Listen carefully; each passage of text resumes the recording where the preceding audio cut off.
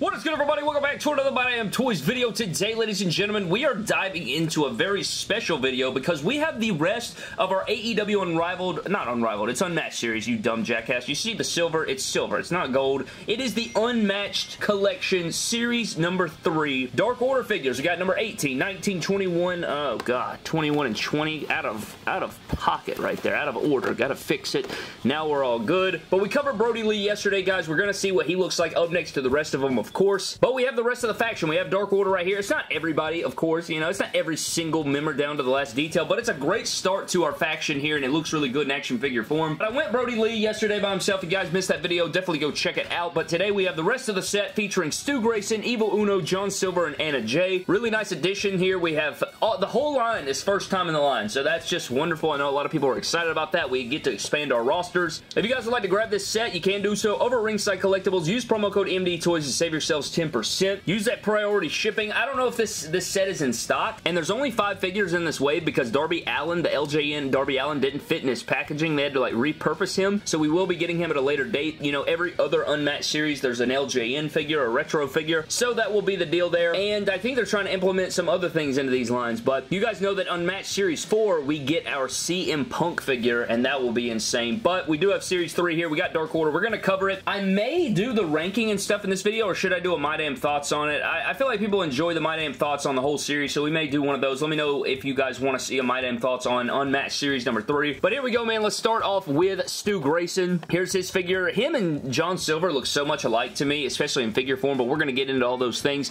Here is his full deal. Looking really cool. Of course, we do have our upper deck carts here. We may unpack, you know, all those packs together there, but you got Stu Grayson there, over there. Then on the back, you get a, you know, of course, a shot of him there. Then the next one in the set, we do have Evil Uno. I feel like Evil Uno, my first perceptions of him were way different than how I feel about him now. But we get a masked character. Very cool. Lots of one-of-one -one molds here. Lots of accessories with these guys in this Unmatched Series 3. But here's Evil Uno. A lot of people love him. On the back, you get another shot of him there. Love that. Next up, we have John Silver, another great-looking figure. A bit cartoony on the head, but we'll get into all those things as we dive in. You get some interchangeable heads. John Silver in our silver packaging for Unmatched. And last but not least, we have probably one of the better women figures they've made so far. We have Anna Jay. So we got Anna Jay here from the Dark Order. I like the way these head sculpts look. We're going to get into all those things, of course, but we do have our Unmatched collection there. And I like it, man. All these figures are looking pretty damn good. What we're going to do, she has like a very basic, like high school style sort of signature going on, honestly. Like, a, uh, let me know if I'm wrong. Anyways, man, we're going to crack the Dark Order out of their packaging and take a look at all four of these guys and, and just kind of get it all going, man. So we're going to crack all these guys out and we'll one by one go through all of them, all their accessories, get into the breakdown, and showcase him with Brodie Lee. Alright guys, here's the full Dark Order out of the set, and I gotta say, man, right off the cuff, I'm having some big issues with this. I, will be real with you, I mean, they look visually good. Like, I, I, like the way all of them look. I think that their proportions and everything, I like the way they look a lot, honestly. Like, I think that they did a fantastic job on the sculpts and, and different things like that. But we're gonna get into all the things that I feel about these figures. We'll break down all their accessories. We're gonna open our Unrivaled packs over here, or our Upper Deck packs. I got four of them. We'll open all four of those on camera. I don't even know if you guys care about that or not. I thought it was pretty fun, though. It kind of felt like a freaking... I'm a, I'm a, I'm a wrestling card channel now. How about that? My damn cards. No, but seriously, some of those card opening channels are pretty damn fire. But we're to get into all those things, man. We're to break down every single figure in the set. But let's go ahead and open our four packs first, and then we'll get into every guy. We'll go Stu Grayson, Evil Uno, John Silver, Anna Jay, and then we'll get into the comparison. We'll show off Brodie Lee with all of them, and I'll showcase all their issues, their articulation. We're to get into all the things, man. This is a full set breakdown just about, but I wanted Brodie Lee to have his own figure video just for, you know, in honor of him and everything, so I did want to do that. But let's shut the hell up, get into our packs, and then we'll get into all of these details of Dark Order and Unmatched Series number 3. Alright guys, we got our first of our four packs right here. I'm going to make it really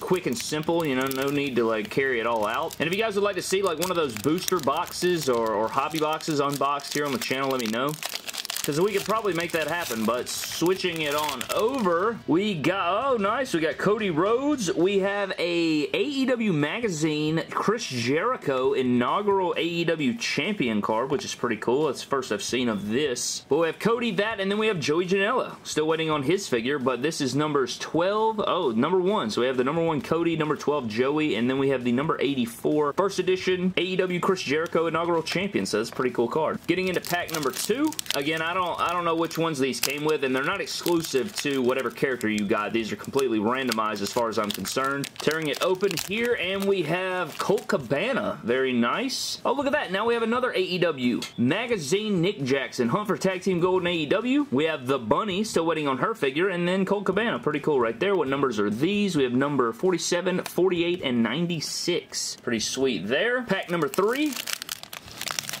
We have Santana. We have Nyla Rose AEW magazine. It's weird. I, I, didn't get any magazine ones with the Brodie Lee, but then we're three for three here in the video with the magazine cards. And then last but not least, we have MJF. So MJF is number 51. Kind of weird he's that late. Maybe there's multiple, but you have 97, 52, and 51. Kind of looks like they're going back-to-backs and then like a high number is what it seems like with these last few. But now we're on to pack number four. It'd be cool if you could get some damn autos or like some one of 20s or one of 5s or something in these in these packs, but you're going down a whole new rabbit hole of collecting if you get into freaking cards, man. I'm telling you right now. I collect a few, but Jesus. So we have the other half. We have Matt Jackson. All Matt Jackson wants for Christmas is to keep the titles. We got a little Tay Conti action, and then we have none other than the Dark Order Tag Team card. Evil Uno and Stu Grayson. And that's funny because we're reviewing them literally today. So we have number 67, then you have 39 and 93. Pretty cool stuff, man. I love the cards. I think they're cool. I'll definitely, you know, start my little small collection there, but now we can add these to the rest of our AEW cards. I like it, man. All right, guys, so starting out first with Stu Grayson. I mean, I think the figure aesthetically looks great great. I mean, I don't really have issues with this wave as far as aesthetics, man. And also, like, this torso looks narrow to me. Is this a new torso? It kind of looks new to me. I don't know. Here's a Cody figure for comparison. I think it, is it a little different? Maybe not. Maybe it's the upper chest that, I don't, maybe it's not at all. Maybe it's just the skin tone that's throwing me off, but it looks a little bit more narrow than the Cody. Am I tripping? Anyways,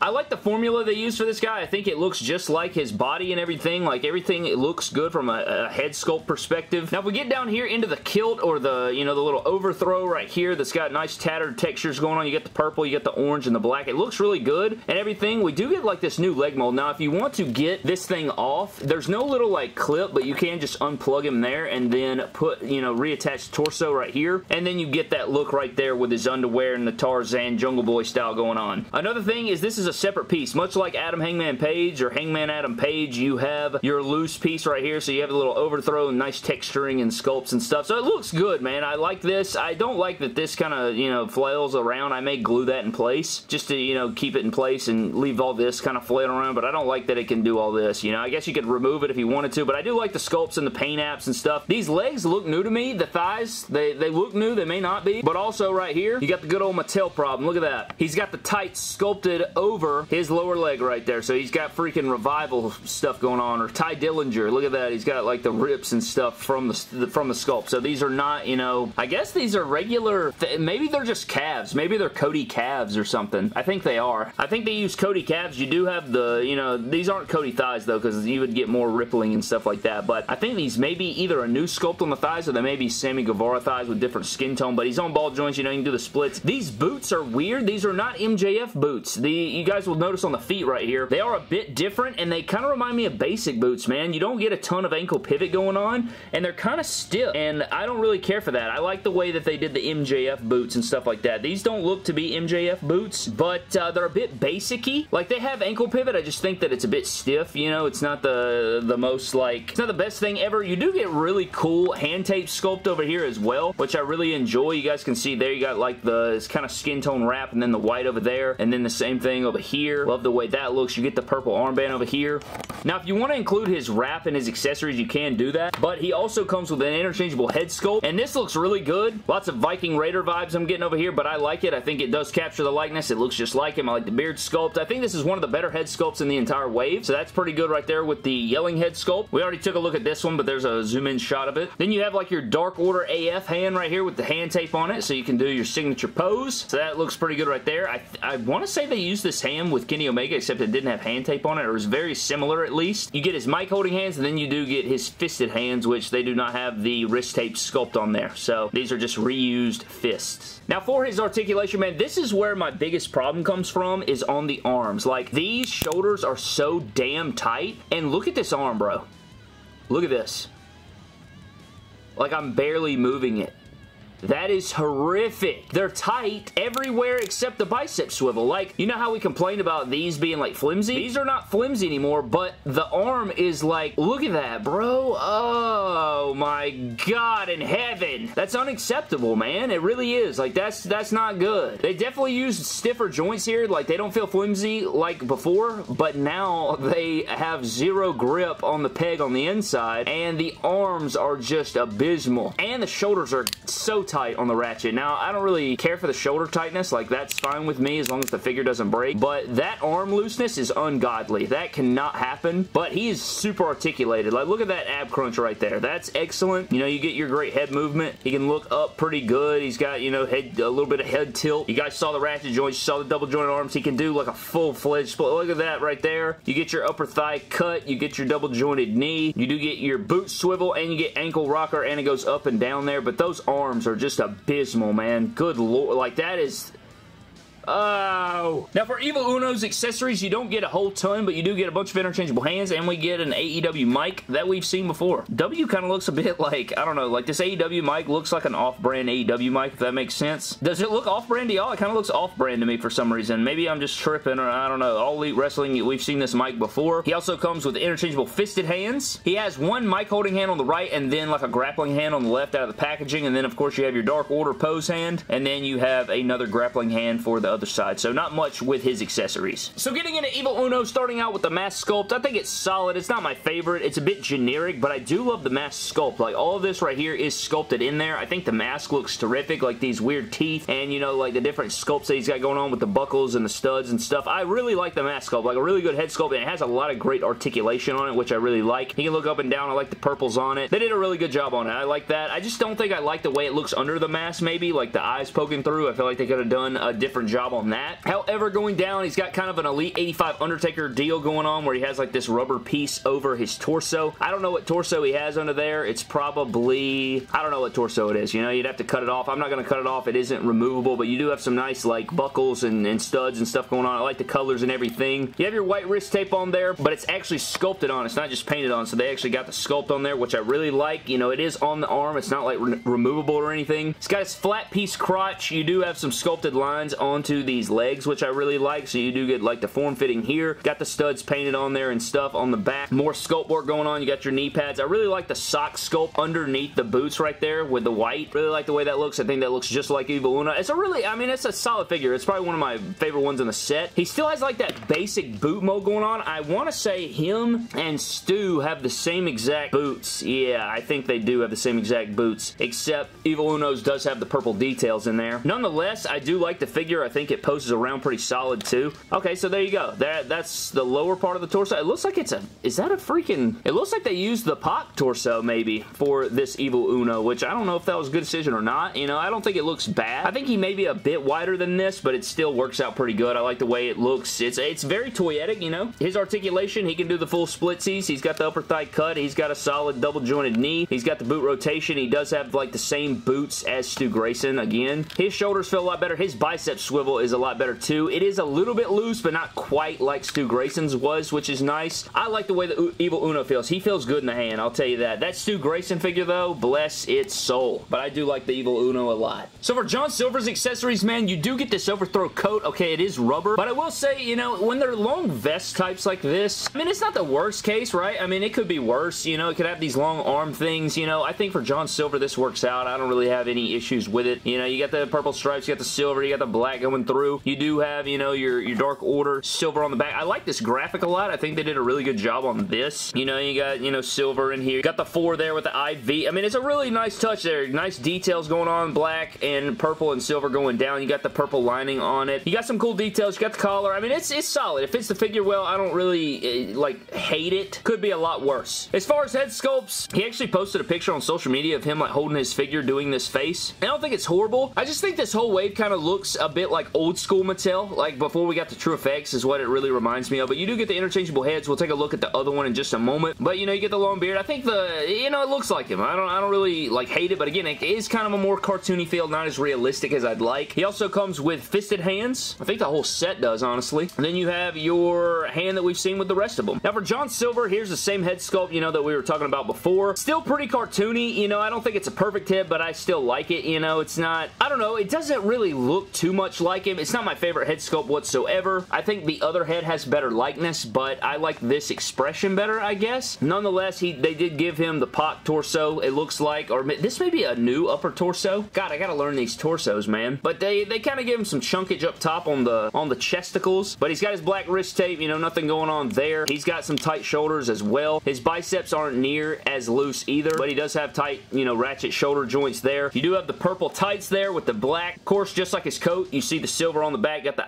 IV, looks really good. I can already see people making different customs with this crotch piece here. Going down to the legs, this does look to be the Pac legs, and then he does have his Dark Order knee pad, and then he does have kick pad rotation, which is just so gorgeous. Thank God they gave him that, but you do get, these are the same kick pads we saw with Miro and Pac, I do believe, but you get the wide open crotch there. You get the upper thigh cut, which is tight. Nice ab crunch. And John Silver's a short dude, man. I mean, look, Anna Jay is almost his height, so he is a short guy. Here's a Cody up next to him, so you guys can see right there how short he is, and he is a short guy, so there is that, but he brings the he brings the wood, you know? But I like the double jointed arms. It's a solid figure. Nice first figure for John Silver, but let's get into the last figure. Now, for Anna Jay's accessories, you do get two interchangeable heads. Here is the second one. This is the smiley face one. You know, we kind of saw this similar to Alexa Bliss, you know? It's just like the smiley face there. You got the light brown hair going down. I feel like the hair color on this head is different than the other one. We'll see about that in just a moment. We'll take a closer look at the head, but I don't really care for the smiling head sculpt. I thought, I honestly think that the serious face that comes on the figure is a little bit better and stronger in likeness, but she also has her Dark Order hand as well as her mic holding hands. So, you know, it's like that claw hand that they give the women's figures for some reason. I don't really care for it, to be honest with you, but a lot of the women's figures have this, and then, of course, you know, you got your, like, signature hand here. It's nice to see it in a smaller hand. They didn't just throw a man,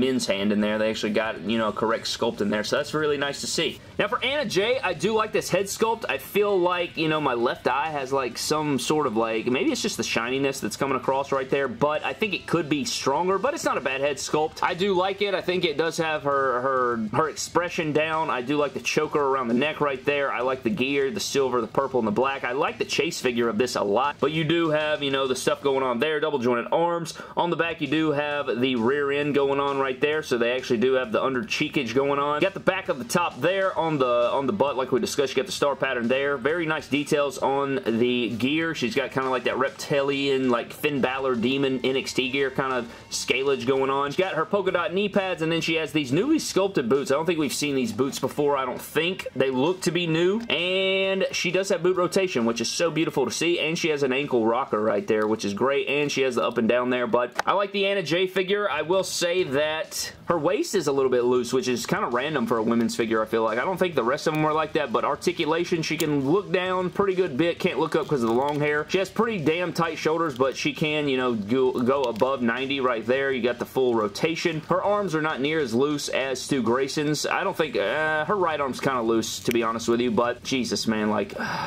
yeah, it's a damn loose arm. That shit is so annoying. Christ, man. Like, it looks like it's about to fall off. Huh, anyway, got the splitsies, upper thigh cut. She does have double jointed knees. Knee pads kind of prevent it there. And the loose the loose waist is, is bothersome, I will say. But it is Anna Jay, and I like Anna Jay. I think she's getting better, but damn, man. These loose limbs are driving me nuts. It's almost like the AJ Styles shoulder deal where it's like Christ. Alright guys, so here's Mr. Brodie Lee with the full Dark Order, at least the members that we have so far. I like them. I think they look great again, man, but those loose arms are killing me, man. They are just doing a number on my mental toll. But, uh, you know, uh, the, the Stu Grayson is pretty much unusable, to be honest with you. Like, it's pretty bad, but Brodie Lee looks amazing up next to all of them. I will be real with you there. I like the way they all look. Uh, but yeah, here's Stu Grayson. Like, look at this, dude. I like, uh, like, look at that. I, like, turned this, bro, and, like, came out here and looked like it just fell over like that. So that's a definite issue. I don't know if I can get another one. I don't know if, uh, I don't know. I hope all of them aren't like that because that's terrible and hopefully that won't be the case. But at the end of the day, this is Dark Order. They look great. I like I like the full set, like as far as aesthetics, but those loose limbs have got to go. And I don't know what they can do to really fix it, but I like the sculpts we got going on, man. If you want to pick these up, go over to Ringside Collectibles. Use promo code MD Toys. I know this wasn't our typical review. We kind of front shotted like a full set here. You know, we, we typically do that with like Build-A-Figure waves, WrestleMania Elites, different store exclusives if there's like four or like Legends or something like that. But in this case, we wanted to do it this way just so we didn't have to separate the two there. Since we did Brodie Lee by himself, I guess the rest could buy themselves, and that was pretty nice right there. But anyways, guys, thank you guys for watching. Hope you guys did enjoy. Let me know what you think of this set. If I had to rank them, I don't know. I'll leave that in my damn thoughts. We'll, we'll get into the full set and break everything down and the best and worst, and you, you guys know how that works. But I'm getting out of here, man. Thank you so much for watching the video, and uh,